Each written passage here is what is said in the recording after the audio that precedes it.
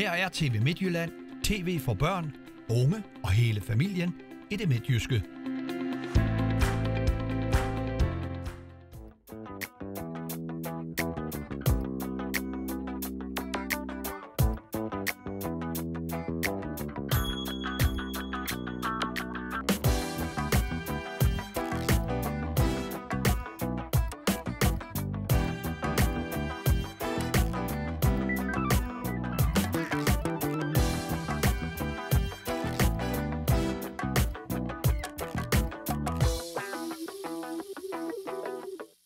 Kenneth, du har lovet at fortælle os lidt om Abu.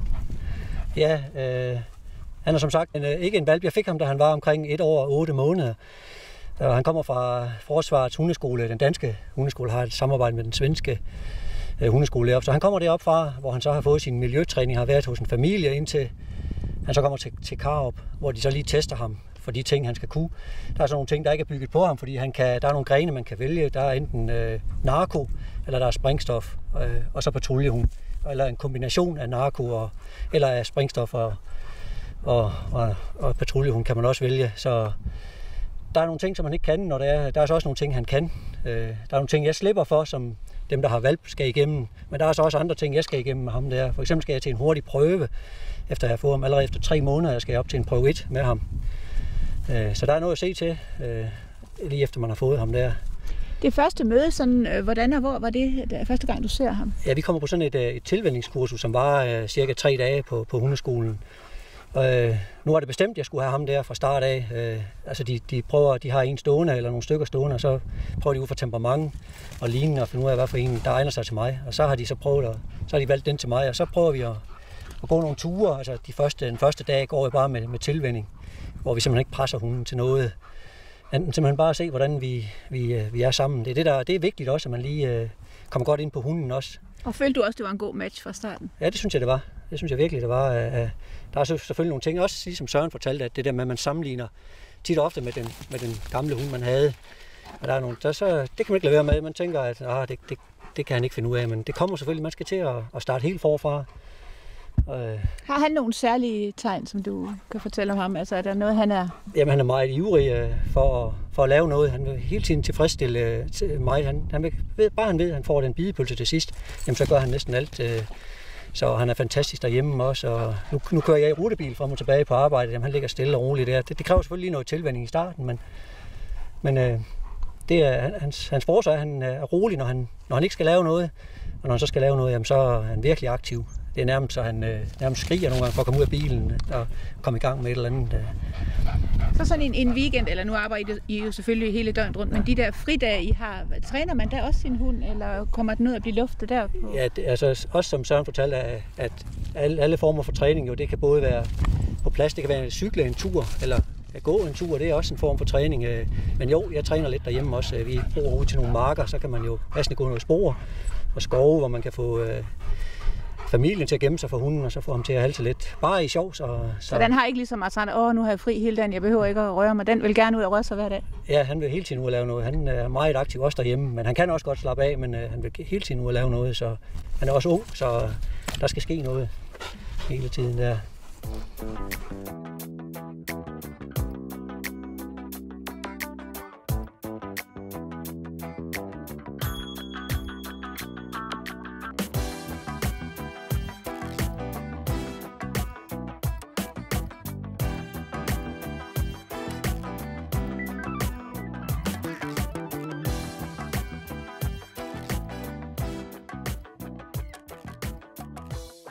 Ja, det vi skal se nu, det er Bu, øh, Lunds hund, Kennens hund, som øh, skal ud og søge et gerningssted.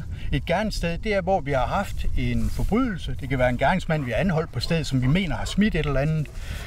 I det her tilfælde ligger jeg de her genstande, som øh, Abu så vil begynde at søge i det her begrænsede område. Når han finder en genstand, hvor han ikke berører den, så skal han lægge sig ned og kigge på den indtil hundeføreren, indtil kenden kommer frem og tager genstanden, eller sikrer genstanden, som det hedder. Ja, for der kan være vigtige fingeraftryk og... DNA og alt muligt på det. Så det er det, vi vil, vil vise jer nu. Så får vi jo se, hvordan det går. Han er, han er god, han er dygtig. Kende eller hun? Både og.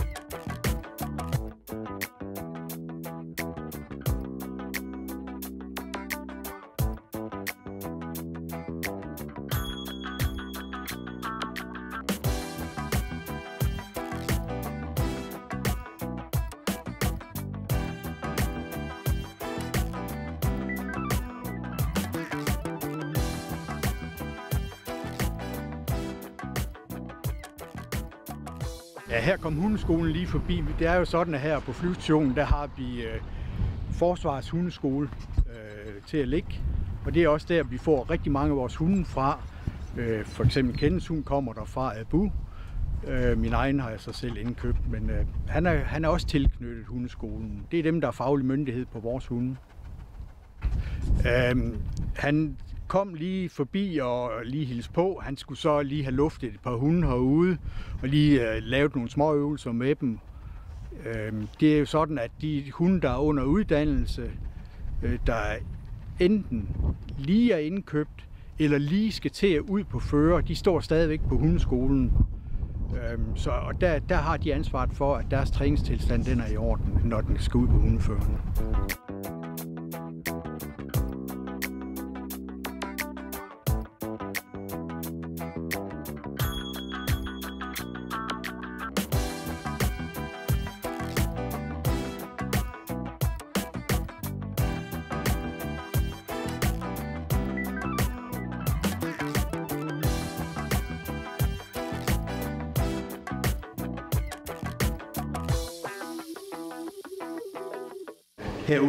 Hundeskolen, der har vi et svømmebassin. Det er forholdsvis beregnet til hunde, som har nogle muskelskader. Øhm, hvis du ser de røde øh, ting, der hænger derovre, det er til at sætte på hunden. Det er nogle seler til at sætte på hunden. Og så oppe i loftet, der har vi en kran.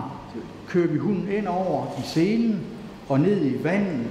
Og så begynder de lige så stille selv at arbejde. Og så sætter vi lidt strøm på, lidt modstrøm, så den får lidt modstand. Og så lige så stille og forsigtigt får vi arbejdet musklerne op igen. Og det virker rigtig, rigtig fint. Vi har haft en del hunde, der har haft meget, meget gavn af det. Nu vidste jeg jo, at I kom i dag, så jeg har jo vasket min hund i den anledning. Og det foregår herover. Det er jo ikke ret mange steder, man har en håndvask med en trappe op til. Men det har vi. Og Neo han hopper lige så stille op, og så står han deroppe. Det skal I prøve at og se. Nu skal jeg lige prøve at vise det. Han, han elsker at komme derop.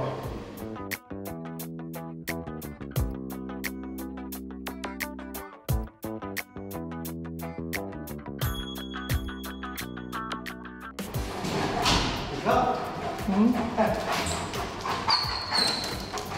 Der står Så der står vi her og vasker hunden. Og han, er- det kan han godt lide, for det har han været vant til lige fra han var 8 uger.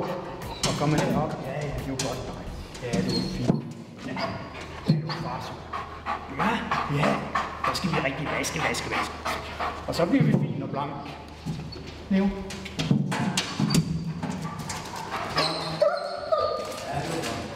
Ja,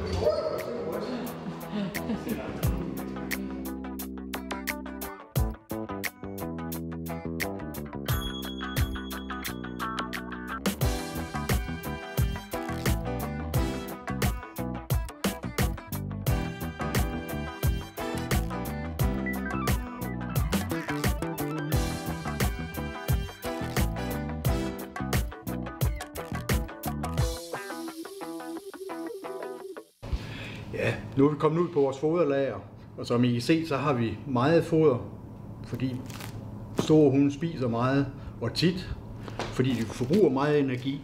Så derfor har vi meget foder og forskellige foder. Øhm, vi har valpefoder, vi har fuldvoksen foder, vi har foder til hunde, som har allergier, og vi har foder til hunde, som er for tykke eller for tynde.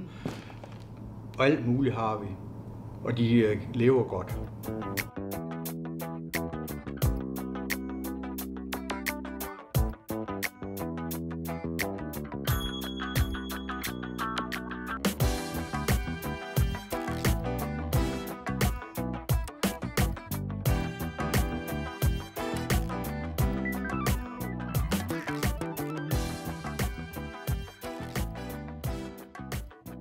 Ja, det er godt nok et program om hunden, men vi har også en kat herude på foderlageret, og det er der jo en grund til. Det er fordi, at vi også en gang imellem har mus. Og som Sigurd siger, hunde de er gode til nogle ting, katte de er gode til noget andet. Og den der, den er god til at fange mus. Vi øh, snakkede øh, om på et tidspunkt, at hunden de bliver trænet ved glæde. Og hvis der er noget, der glæder hundene, så er det æde. Så derfor bruger vi rigtig meget af dem af godbider, og det bruger vi til alt muligt. Til fod og til øh, hvad hedder, spor og felter og alt muligt. Til at belønne med. Der er nogle hunde, de er ikke så interesseret i bolde, eller de er ikke interesseret i bidepøls. Men så er de til gengæld meget interesseret i at få godbider. Ja,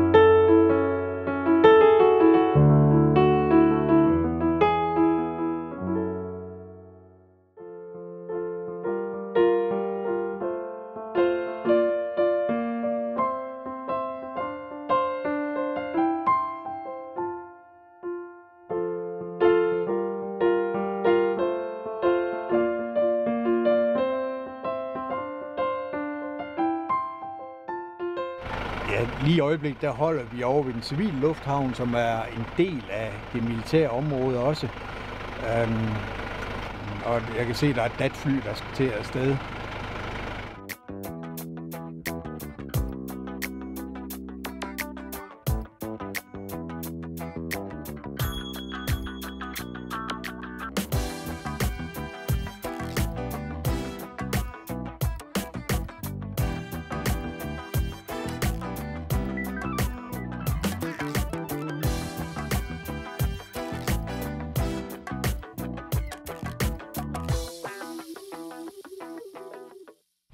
Kenneth og Søren, tusind tak, fordi I vil øh, vise rundt på jeres arbejdsplads. Det har været meget interessant. Nu når vi slipper jer, hvad er arbejdsopgaverne så? Ja, så skal vi jo tilbage til den daglige don. Vi skal have passet hovedvagten, vi skal vores adgangskontrol skal vi have gang i, og vi har jo to vagter, vi skal besætte. Derudover der er vi jo på patrulje, så vi skal ud og kigge Ja. på terrænet. Du blev kaldt for et øjeblik siden, der skulle du ud og tjekke en alarm. Ja, Var der nogen i fælden? Ja det var der. de, øh, normalt har vi en procedure om, at de, de ringer ned og fortæller, at de er gået i, i den, men vi skal altid kontrollere alligevel. Det var så ikke nogen, der har gjort dengang, så jeg tager hund og det hele med ind, og det er også godt for en ung hund lige at komme med rundt og kigge der, men uh, der var en, der var gået i fælden der, og det indrømte han også blankt uh, og undskyld mange gange. Sådan er det tit og ofte jo. Det var godt, det ikke var værre end det. Ja, ja. Vi vil sige fortsat god arbejdslyst til jer, og Jo, tak tak. fordi vi måtte komme på besøg. Altid.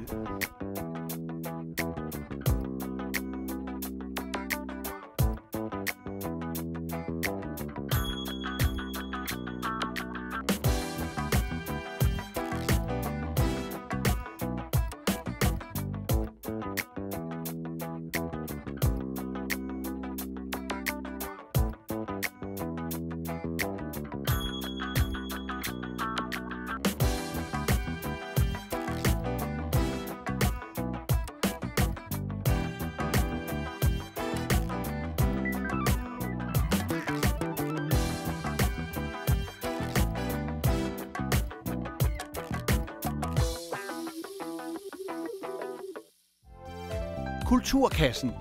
Med fokus på kulturen i det midtjyske.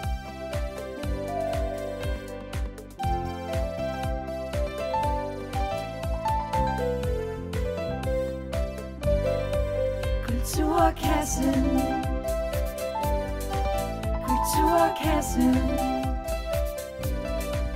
Kulturkassen.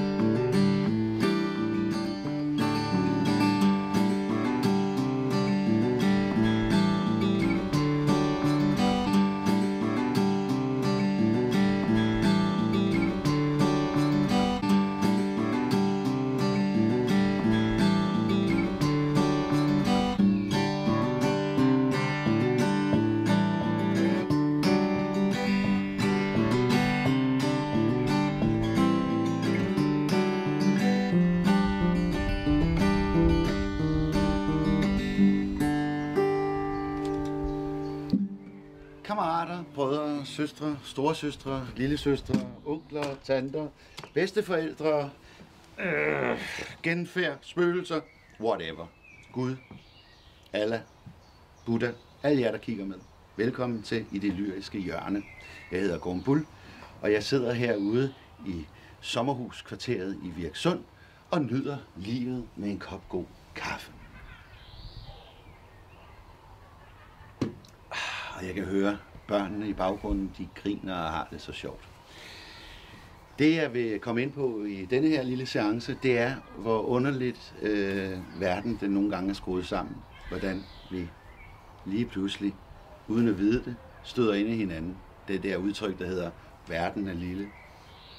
Jeg er i gang med at arbejde på min øh, Morten Nielsen-bog, og øh, i den forbindelse, så øh, har jeg fået forlaget øh, fredag, som det hedder, et nyt forlag, øh, til, at, til at udgive vores bog. Det er ikke bogen det her, men det er deres første udgivelse.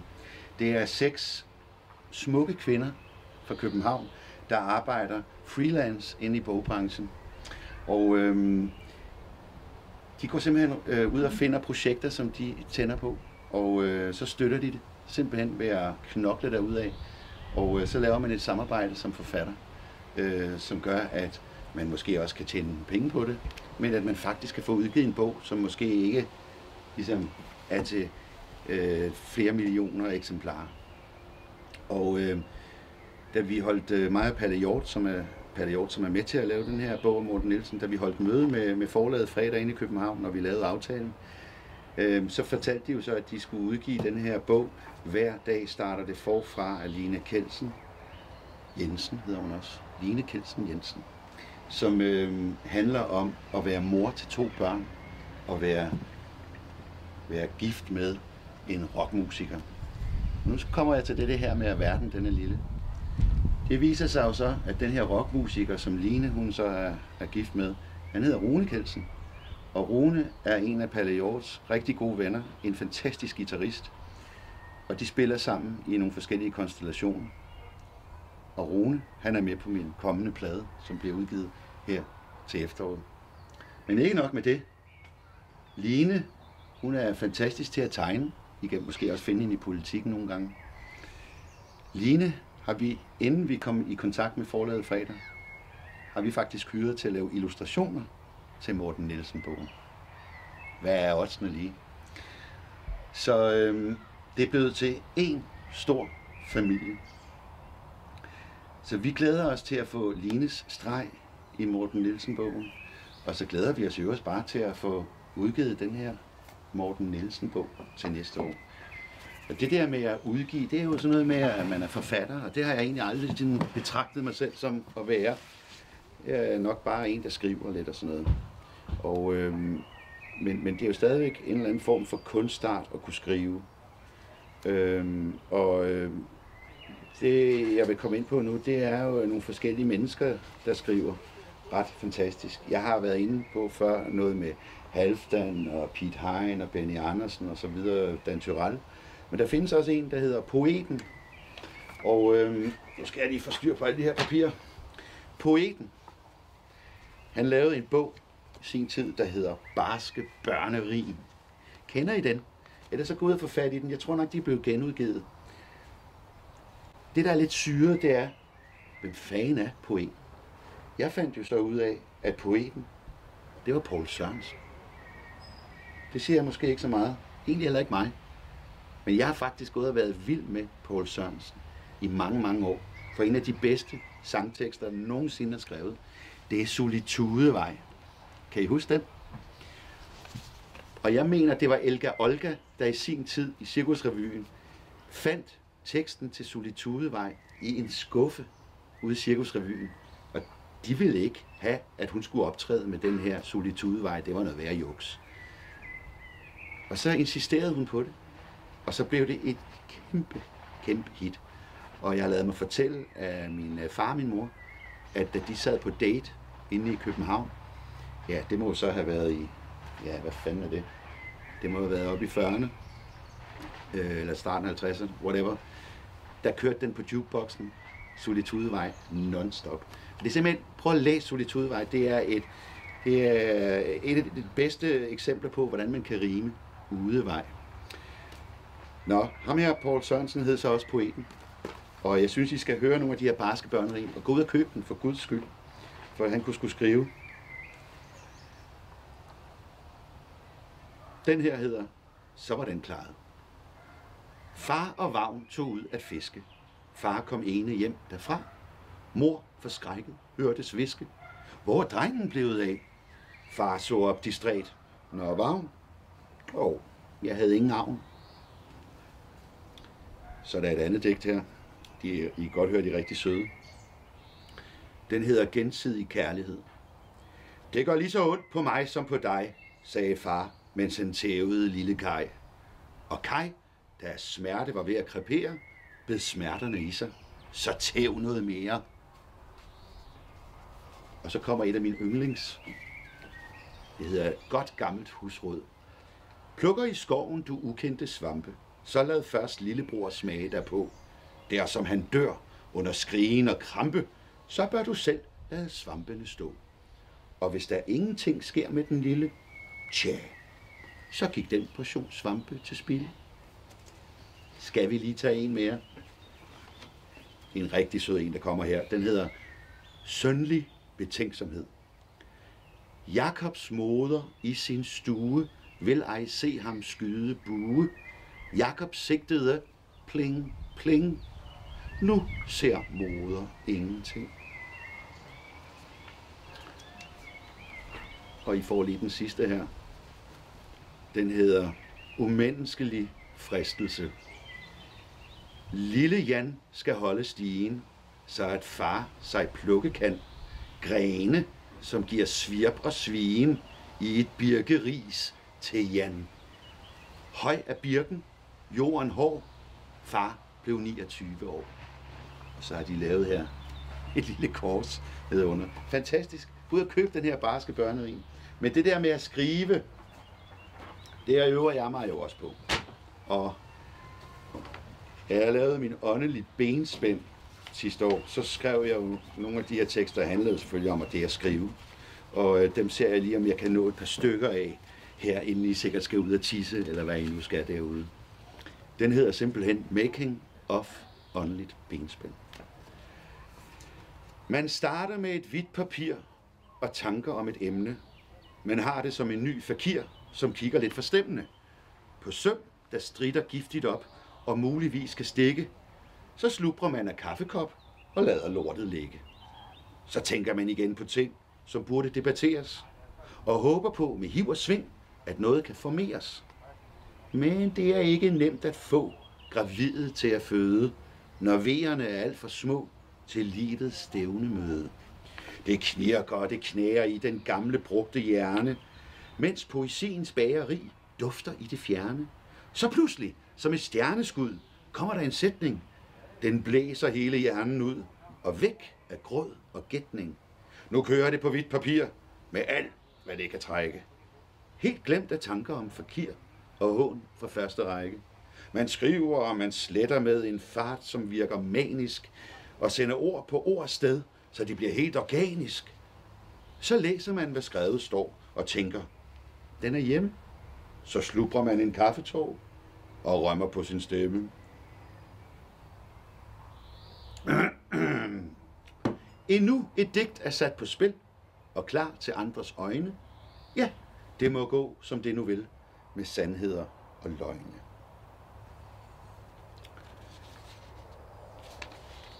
Og så tager vi lige... Ja, hvad tager vi nu? Det er jo lidt spændende så se, hvad han kan finde ud af. Jeg synes, vi slutter af med et digt, der hedder I skrivende stund. I skrivende stund skinner solen.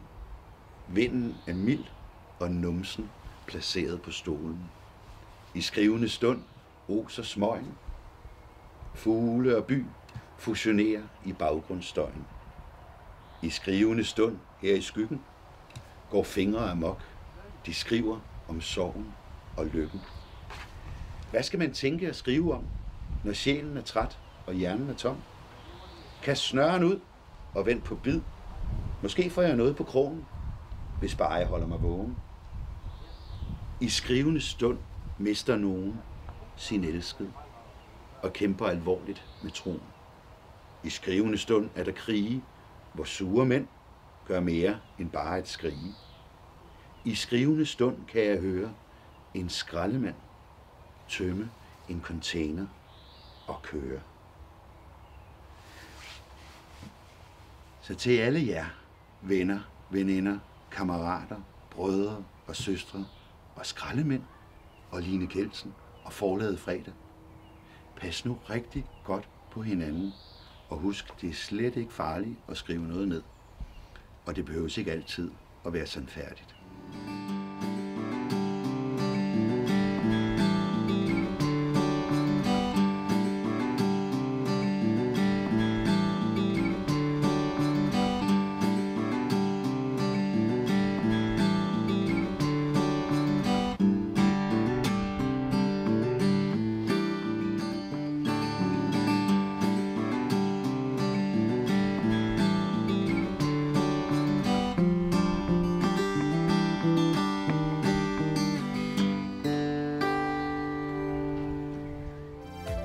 Kulturkassen.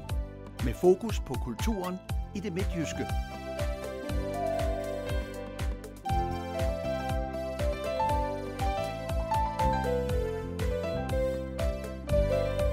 Kulturkassen. Kulturkassen. Kulturkassen. Det er nemmere Kulturkassen.